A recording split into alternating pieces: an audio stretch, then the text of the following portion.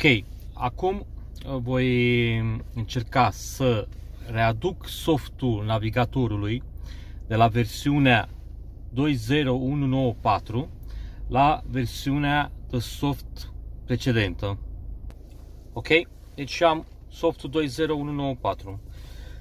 Pentru asta am pus noul soft pe acest set de card. Ok? Îl introducem. Ne cere să dăm un restart. Scot și cheia cu tuxi, pentru că acum nu va mai merge tuxi. Ok.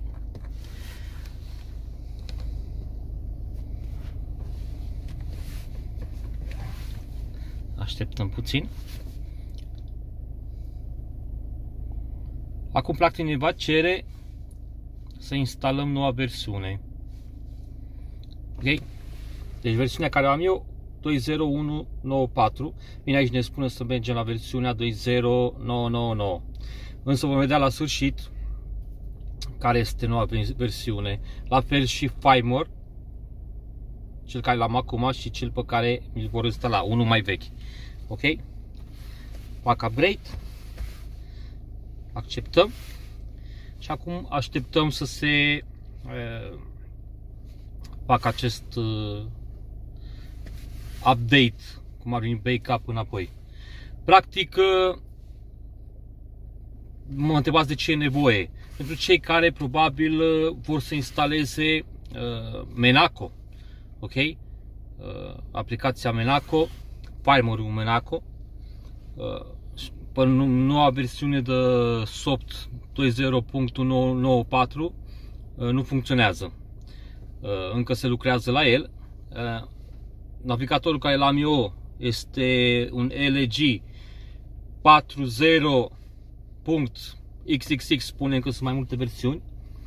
Navigator cu Windows. Uh, modelul meu e din 2017. Ok. Acest soft care îl instalez acum nu este pentru Gen 5. Pentru Gen 5 există alte softuri acest soft este pentru uh, navigatoarele 2016-2018 gen uh, Android sau Windows, ok? Așteptăm să se copieze.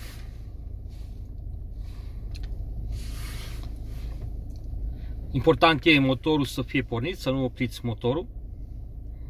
Ok?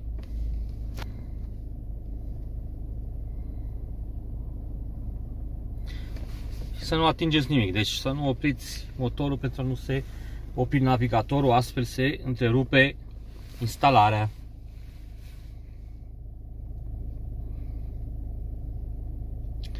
Uh, eu fac acest lucru pentru că vreau să instalez uh, interfața uh, Menaco de la Menavrus, ok? Pentru a o proba, pentru a face un tutorial și cu acesta se poate reveni. După aia vă voi explica și când instalați acel Menaco. Se poate reveni și la cel din fabrică. Sunt anumite setări, vă voi explica în uh, tutorialul care voi face. Însă deocamdată să termin acest uh, retro update, nu? să ne întoarcem înapoi cu update-ul. În normal ar trebui să mă ducă la versiunea 20183 în mod normal însă posibil să fie o versiune chiar mai veche. Vedem imediat. Tuxi, care eu l-aveam pe cheie, nu va mai funcționa, asta este clar. Cel puțin în această modalitate care am instalat-o prima oară pe 20194, ok? Uh, pe ce? Eventual aș putea să o instalez pe versiunea, cum se instala pe versiunea 2.0.1.8.3. Însă și aici am văzut, am studiat puțin această interfață, acest firmware Menaco. 95% după părerea mea, imposibil să mai folosim Tuxi și Menavus.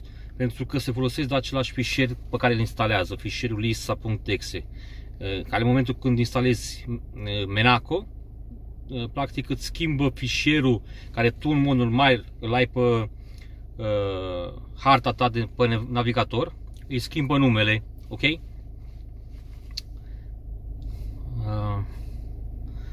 așteptăm acum să schimbe farmerul la GPS, ok? Deci, vedeți cum arată navigatorul meu, cu rotița și cu tasta info. Cardul original eu l-am păstrat, l-am pus deoparte. Ok, nu l-am folosit. Dacă cumva folosiți card original, trebuie să copiați tot ce aveți pe card, să-l copiați în uh, calculator. Nu se poate clona cardul original pentru că are protecție din fabrică. Ok? Și nu se poate clona, dar se poate copia ce e pe el.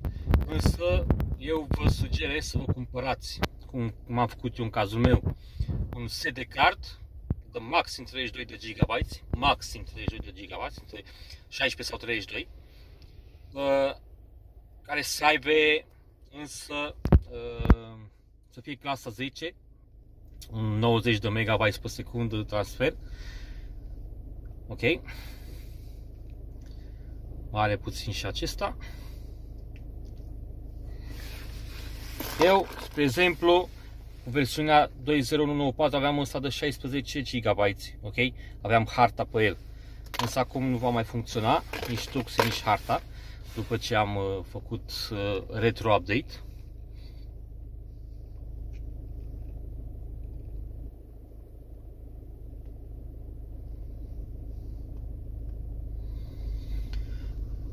Ok, așteptăm să facă tot.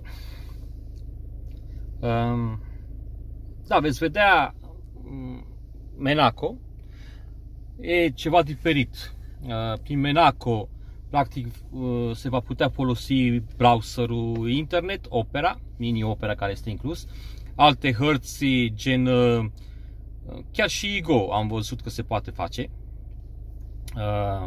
Poți să pui aplicații din terțe părți, practic.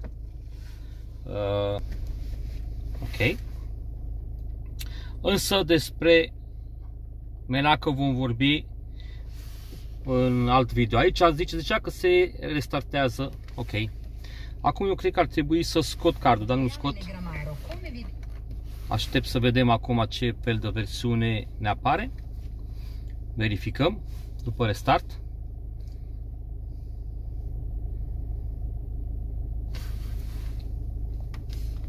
Ok. Dăm anula pentru că a pornit din nou. Scoatem cardul. Vedeți am luat un card de 32 de gigabytes 90 megabytes pe secundă. Ok. Haideți să vedem versiunea.